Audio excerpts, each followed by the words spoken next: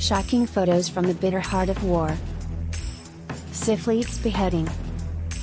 When this photo was first published in Life magazine, the cry of indignation was felt around the world. The man in the picture is believed to be Australian Sergeant Leonard Siffleet. The photo, which was taken after Siffleet was captured during a recon mission in Papua New Guinea, was found in the uniform of a dead Japanese soldier the next year. Both of Siffleet's companions were also beheaded. Beheading was a fairly common form of execution for the Japanese in World War II, and it seemed that every falling blow rippled through the moral consciousness of the West.